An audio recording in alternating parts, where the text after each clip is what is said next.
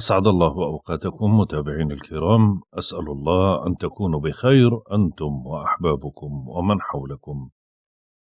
طبعا اليوم توقعاتنا ليوم السبت 25 كانون الأول ديسمبر.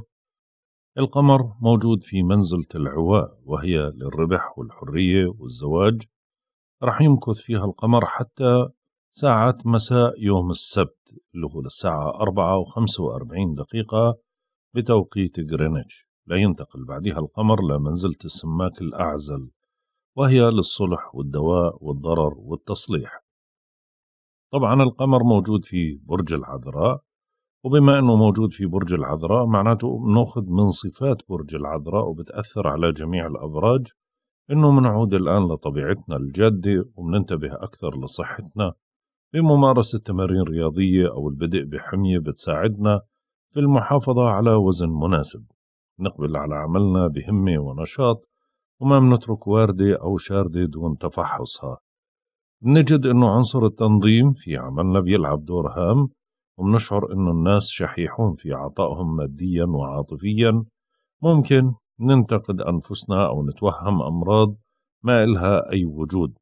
هاي أفضل فترة للتخلص من عادات سيئة كالتدخين وشرب الكحول وبوسعنا اقتناء حيوان أليف أو مطالعة كتاب مفيد أو البدء بوظيفة أو عمل جديد أو حتى البدء ببرنامج لتخفيف الوزن.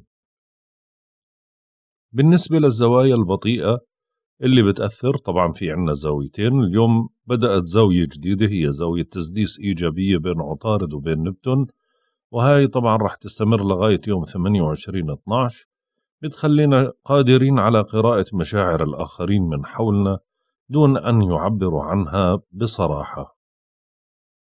أما بالنسبة للزاوية التي تليها وبرضه هي من الزوايا البطيئة اللي مستمرة لغاية يوم 13 واحد هي زاوية التربيع السلبية بين زحل وبين أورانوس.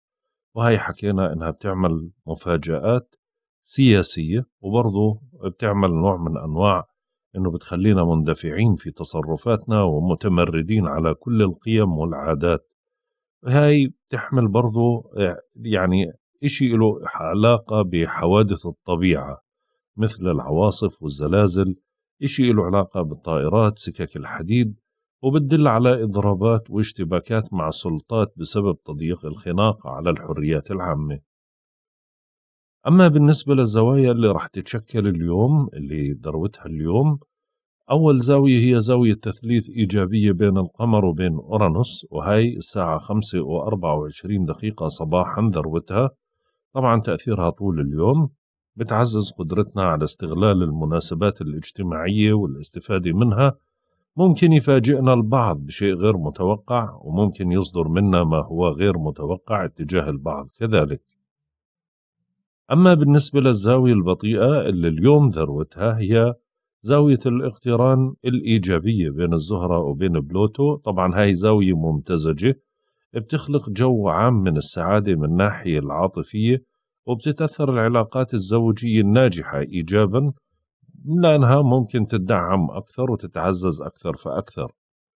أما بالنسبة للعلاقات الضعيفة فهاي بتخلي شوي مزاجنا عدواني وعصبي وممكن تنتهي العلاقات الضعيفة وتسبب خلافات في حياتنا الع... وعلاقاتنا العاطفية. طبعا هاي الزاوية مستمرة لغاية 30 12 وهي برضو بتأثر علينا.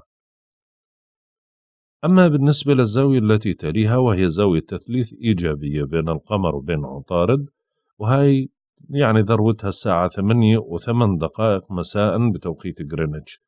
طبعا تأثيرها من ساعات الصباح بتبلش لغاية تقريبا منتصف الليل. نشعر بقوة الفكر والقدرة على الإدراك الجيد للأمور بالإضافة إلى نشاط الذاكرة وسرعة البديهة. أما بالنسبة للزاوية التي تليها والأخيرة اليوم هي زاوية تقابل سلبية بين القمر وبين نبتون وهاي الساعة 11 وسبع دقائق مساء بتوقيت غرينتش. طبعا ببلش تأثيرها من ساعات الظهر بتجعل بعض الأشخاص يجنحوا إلى العيش في عالم وهمي من نسج خيالهم بعيد عن الواقع وبتجعلنا غير عمليين في تصرفاتنا وبنعتمد في مشاعرنا على مشاعر الآخرين. بالنسبة للأعضاء الأكثر حساسية اليوم في جسمنا واللي لازم نوفر لها العناية الإضافية اللي هو البنكرياس الأمعاء الدقيقة المصران الأعور القولون الجهاز الهضمي الاثنى عشر المستقيم آه، أجهزة الإحساس والعيون والأذنين. بالنسبة للعمليات الجراحية يوصى فيها ما في أي مشاكل للعمليات الجراحية ولكن بالنسبة للأعضاء اللي ذكرناها هاي يعني يفضل إنه إذا كانت طارئة العمليات أوكي ولكن إذا في مجال لتأجيل وما نعمل لها تدخل جراحي بيكون أفضل. طبعا اليوم غير مناسب لعمليات التجميل مثل الحقن والجراحة. يصلح لإزالة الشعر الزائد يصلح لقص الشعر التجميلي والصبغ ولا يصلح للقص العلاجي. أما بالنسبة لمطعوم كورونا فما في أي مشاكل. بالنسبة للقمر بما أنه موجود في برج العذراء خلو المسار القادم راح يكون يوم الأحد 26-12 بيبدأ في تمام الساعة 8 و 39 دقيقة صباحا وبيستمر حتى تمام الساعة 4 و 23 دقيقة مساء. لا ينتقل القمر لبرج الميزان. أما بالنسبة لعمر القمر عمر القمر بدأ الآن ينحسر عن المحدب باتجاه المربع. عمره 21 يوم في تمام الساعة 7 و 27 دقيقة مساء بتوقيت غرينتش بيصبح 22 يوم نسبة الإضاءة 65% أما بالنسبة لمزاج الكواكب وطباع الكواكب لهذا اليوم الشمس في الجدي حتى يوم 20 واحد اليوم سعيد بنسبة 85% القمر في العذراء حتى يوم 26 12 اليوم سعيد بنسبة 20% عطارد في الجدي حتى يوم 2 واحد سعيد بنسبة 100% الزهرة في الجدي بيتراجع حتى يوم 29 واحد سعيد بنسبة صفر. المريخ في القوس حتى يوم 24 واحد سعيد بنسبة 30% المشتري في الدلو حتى يوم 29 12 سعيد بنسبة 15% زحل في الدلو حتى يوم 4 6 منتحس بنسبة 10% أورانوس في الثور بيتراجع حتى يوم 18 واحد منتحس بنسبة 10% نبتون في الحوت حتى يوم 28 6 سعيد بنسبة 15% بلوتو في الجدي حتى يوم 29 4 سعيد بنسبة 15% وصلنا للتوقعات اليومية. برج الحمل. بيتراكم اليوم العمل أكثر من المعتاد وبتجدوا صعوبة في إنجاز الكثير من أعمالكم. بدكم تنتبهوا بشكل جيد لصحتكم لأنه القمر موجود في البيت السادس يعني بيت العمل والصحة فعشان هيك بدكم تنتبهوا للأمرين. حاولوا إيجاد الحلول وعالجوا المسائل الطارئة للتوصل لأي اتفاق ابحثوا عن حليف أو عن دعم وتجنبوا الإساءة للأصدقاء وشركائكم وزملائكم في العمل وحذروا من التراجع الصحي. برج الثور بتظل الرغبة قوية في التقرب من أحبائكم وإيجاد قاسم مشترك بيجمعكم فيهم. بحيطك الفلك بالحيوية والحماسة لمتابعة المساعي وللتواصل مع المحيط. ممكن يكون هذا اليوم من أفضل أيام الشهر وأفضل وأوفرها حظا. وبتشعر بالطمأنينة والراحة. القمر بما أنه في البيت الخامس يعني حظوظ قوية جدا على المستوى العاطفي مستوى الأبناء مستوى الحظوظ مستوى الترفيه والهوايات. برج الجوزاء. بتنشغلوا في تنظيم أموركم البيتية والعائلية. بوسعكم إدخال أي تعديل مطلوب على مسكنكم. وبتشعروا اليوم ببعض الحزن أو التعب وبتبحث عن ملاذ آمن. أهم إشي إنك ما تنتقد أقرب الناس لإلك. ممكن تلمس توتر على الصعيد العائلي بسبب كثرة الضغوط والأمور الطارئة. طبعا بما أنه القمر في البيت الرابع يعني انشغالات على مستوى البيت والعائلة أو مناسبات اجتماعية. برج السرطان. كونوا أكثر وعيا على الطرقات خاصة في السفر داخل المدن. أهم إشي إنه ما تدخلوا في نقاش حاد مع أخ أو جار. هذا اليوم بسجل لك لقاء مهم أو اتصال مفيد بتجري أبحاث ومفاوضات ناجحة. بتقوم بزيارة أو بتلاحق عمل ملح وضروري. خلال هاي الفترة أو الفترة المقبلة الأجواء جيدة وداعمة لإلك بقوة. طبعا القمر بما أنه في البيت الثالث معناته الأجواء عندك اليوم جيدة. برج الأسد. خففوا من النفقات قدر المستطاع. ابتعدوا عن المشتريات الغير ضرورية واحرصوا على مالكم من السرقة أو الضياع. ممكن تناقشوا اليوم موضوع مالي؟ أهم إشي إنك ما تتسرع في أي استثمار قبل مراجعة التفاصيل. حاول إنك ما تبذر أموالك وكون عاقل ومتيقظ قبل التوقيع على العقود وحاول إنك تحدد أهدافك قدر الإمكان. الأجواء المالية جيدة ولكن بتحمل بعض المصاريف لزيادة. برج العذراء القمر موجود عندكم فعشان هيك اليوم تشعروا بثقة كبيرة بالنفس وقدرة على السيطرة على زمام الأمور. بتكون مميز بأدائك. الفترة هاي واعدة بخبر أو تسوية أو انطلاقة بمرحلة جديدة. بتطرح أفكار جديدة وبتجتهد على إنجاح مشروع جديد. الفترة هاي بتحمل حماسة ووضوح في الأفكار. الأجواء جيدة وداعمة لإلك بقوة في كثير من الاتجاهات هذا اليوم.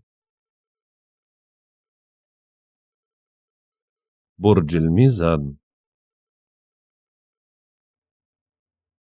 بما أنه القمر موجود في بيت المتاعب معناته هذا اليوم بيتطلب منكم الانتباه جيدا لصحتكم.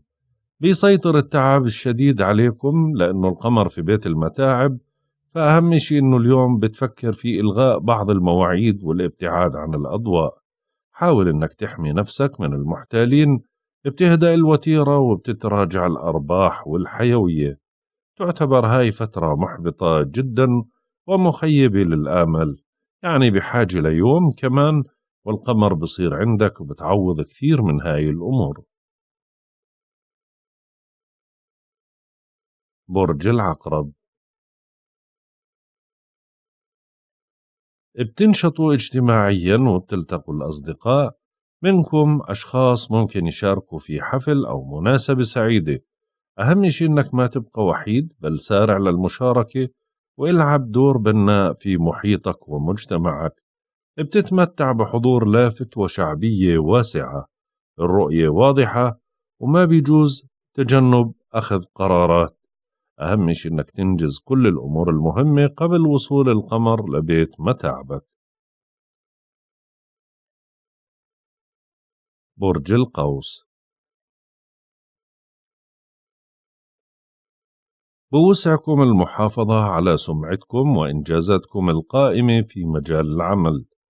هذا يوم مناسب للأشخاص اللي بيبحثوا عن عمل. أهم شيء إنك ما تجازف بسمعتك. أو حتى باستقرار وظيفتك. حاول أنك تتجنب التصرف الارتجالي وركز بشكل جيد على عمل واحد قبل الانتقال لعمل آخر. نظم أعمالك عشان تنجزها بالكامل. برج الجدي بتنشطوا في أمور إلها علاقة بالسفر والاتصالات البعيدة والتواصل مع أشخاص خارج البلاد. أهم إشي إنكم تكونوا أكثر وعي على الطرقات خاصة أثناء قيادة السيارة بين المدن. اندفاعك وحماسك رح يتركوا أجمل الانطباعات عنك بسبب حيويتك الفائضة وطاقتك المتجددة. بتطمئن خواطرك وبتختفي هواجسك وتعتبر هاي فترة إيجابية جدا. أهم شيء إنك ما تضيع عليك الفرص. برج الدلو اتفحصوا حساب مالي مشترك وخففوا من النفقات. صحتكم أو صحة قريب إلكم بحاجة للرعاية. حاول إنك تكون مرن وما تتنازل عن حقك شرط الامتناع عن فرض الرأي والتسلط به. ابحث عن الحلول اللي بترضي مختلف الأطراف وحاول إنك ما تهمل ملف ولا قضية. برج الحوت. بتتركز جهودكم حول البحث عن قاسم مشترك بيجمعكم بشركائكم سواء في العمل أو في العاطفة. حاولوا انكم تكونوا أكثر تفهما لوجهة نظرهم. نسق بين مختلف الواجبات. حافظ على هدوءك الكامل هاي الفترة لأنه الضغط كبير والأوضاع ممكن تصعب. عشان هيك لازم تأخذ نفس ولازم تبعد عن المشاكل قدر الإمكان. ضبط الأعصاب مطلوب ومراقبة الصحة مطلوبة. هيك بنكون انتهينا من توقعاتنا لهذا اليوم. والله أعلم.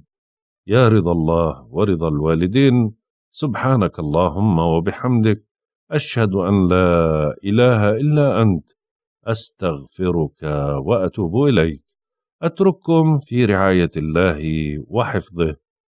إلى اللقاء.